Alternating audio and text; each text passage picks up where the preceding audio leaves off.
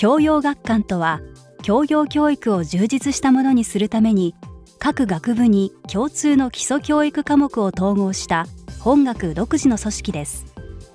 教養教育というのは大学全体の教育の元になる教育です。教養学館では国際教養と語学力社会人基礎力などを身につけられる授業を提供しています。教養学館の教育には3つの特色があります。1つ目はアクティブラーニングと呼ばれる学習法です。プレゼンテーション議論グループワークなどを通して自ら考え発信する力を養うことができます。2つ目は少人数教育です。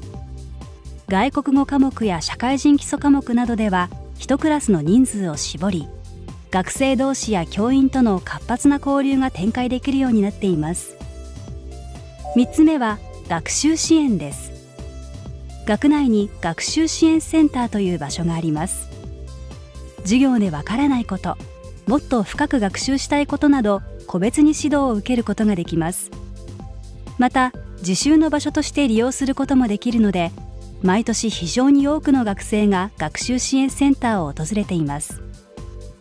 英語数学物理科学生物だけではなくプログラミングや文章表現の指導も対応しています。この学習支援があれば皆さんは不安なく安心して学業を進めることができます。教養学館では人文社会外国語情報数理自然科学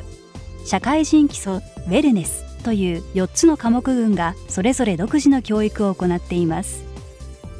外国語科目群では異文化を理解する力や語学力を身につけるために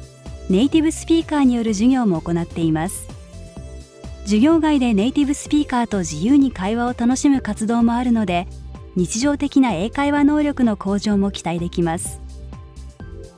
情報数理自然科学科目群ではコンピューターなどの ICT 関連授業が充実しています。デジタル化された膨大なデータを読み解く力。データから新しい価値を生み出す力を養うデータサイエンスの入門科目も教養学館で学ぶことができます。その他の科目群でも実践的で問題解決的な授業が多数用意されています。教養学館にはユニークな授業を提供する以外にも2つの大きな柱があります。一つはサービスラーニング。もう一つは海外プログラムです。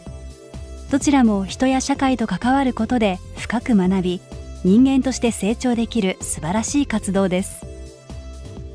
東京工科大学では学生の可能性を大きく広げる学習環境を整え幅広い知識と経験を持った人材を育成します。